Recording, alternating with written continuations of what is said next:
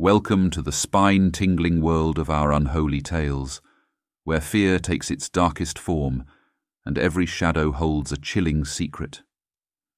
We are your guides through the twisted and nightmarish tales that will keep you on the edge of your seat, clutching your pillow for dear life. Get ready to embark on a journey into the abyss of your deepest fears as we explore the realms of the supernatural, the macabre, and the unknown. The fading summer sunlight cast long shadows as I pedalled my bike down the quiet suburban streets of Weeping Ridge. As the houses grew farther apart and the woods crept in, I picked up speed, leaning into the curves.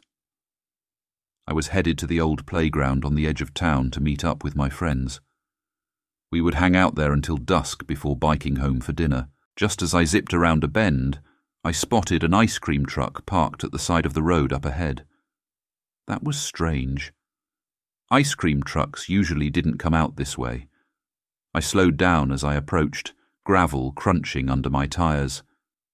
The truck was painted a chipped and faded pink, with a giant swirly soft serve cone on the side.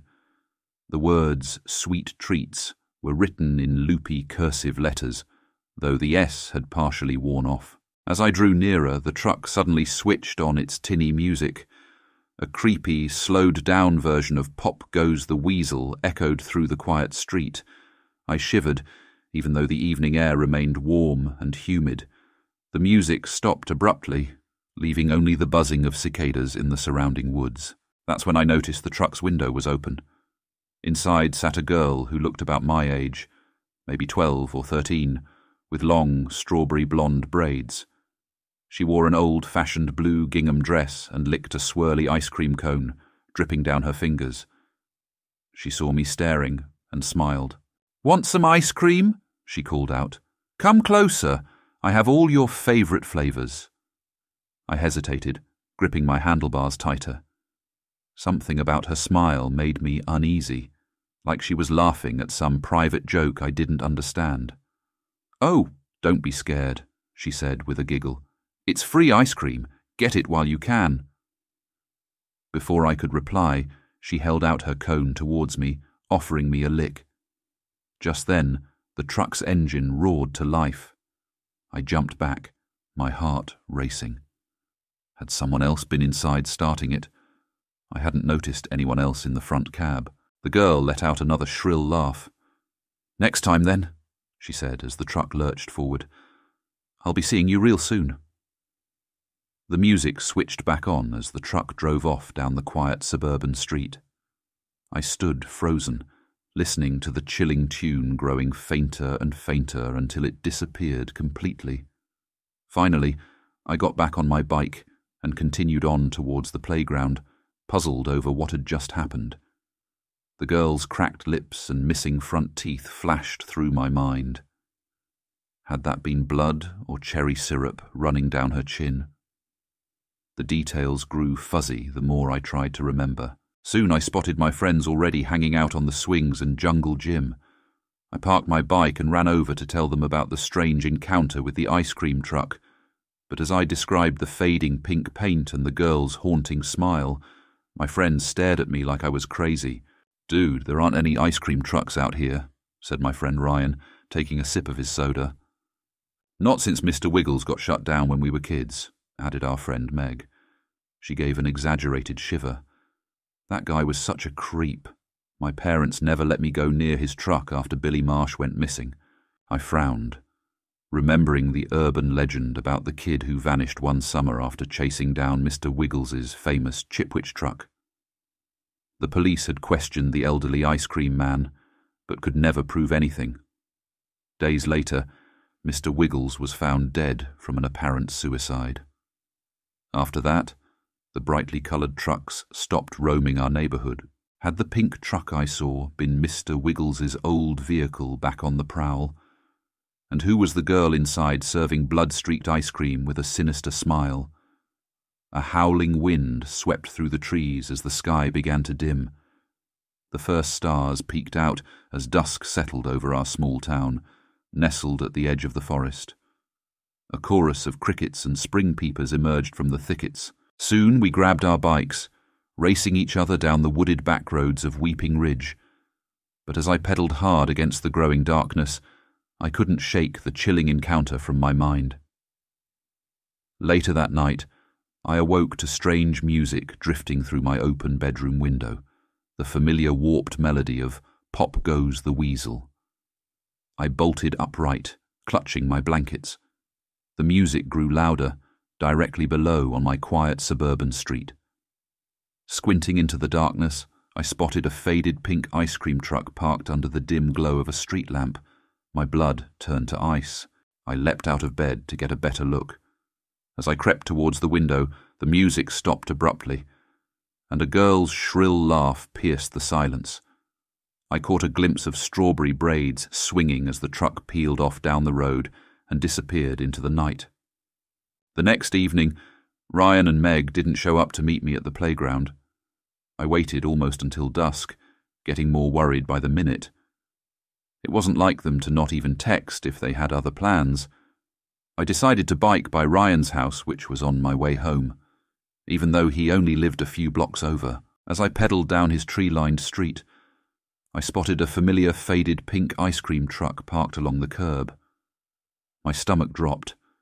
Before I could get a closer look, it switched on its music and peeled away into the growing darkness. I raced towards Ryan's house, leaping off my bike on his front lawn. The windows were dark. No one answered the frantic pound of my fist against his front door. Where was everyone? Finally, Mrs. Porter from next door cracked opened her window. Oh, honey, didn't you hear? She called down to me. Such an awful tragedy. Ryan's parents got into a terrible accident earlier today. They still haven't found his dear little sister. Missing, they say. Her voice trailed off as I jumped back on my bike and raced towards Meg's house. As I turned down her street, I spotted the truck once again. It was parked farther down, pink paint almost glowing in the fading light, though I was still too far away to see inside. Suddenly, the ice cream truck revved its engines and peeled away. As it drove past me, I barely made out a small shape in the passenger seat next to the driver, face pressed against the glass. A mop of strawberry blonde braids framed a pale face. Meg. Wait! I yelled after the truck. Stop! I pedalled faster and faster, lungs aching. But the truck only sped up, blue exhaust choking the air. The warped melody of Pop Goes the Weasel echoed through the quiet suburban street. I raced after it until we passed the last house on the lane. The paved road abruptly ended, nothing but dirt and thick forest ahead.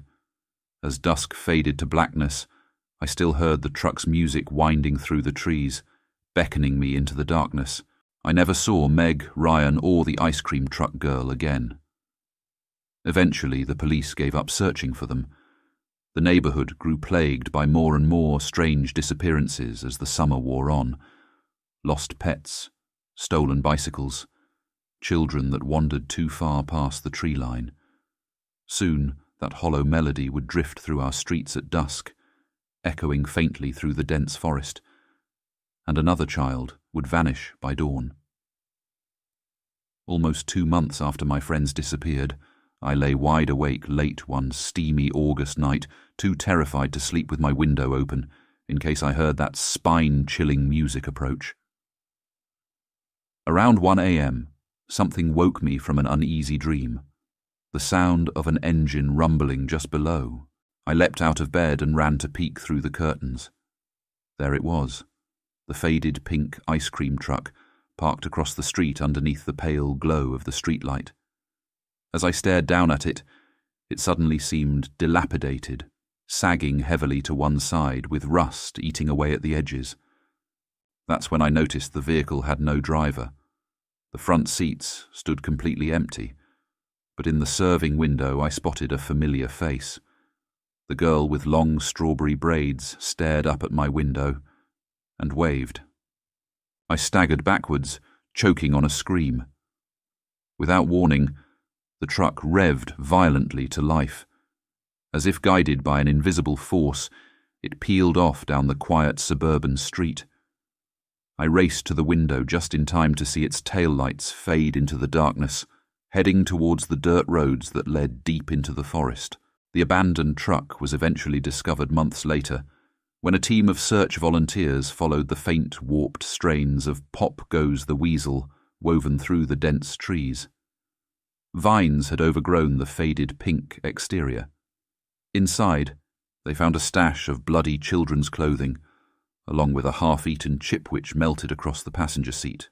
Soon afterwards, the neighbourhood returned to normal as if nothing had happened, but I could not forget what happened to Ryan and Meg. At fifteen, I saved up enough money mowing lawns to buy an old car of my own. The first night I drove it, I went out searching for my long-lost friends.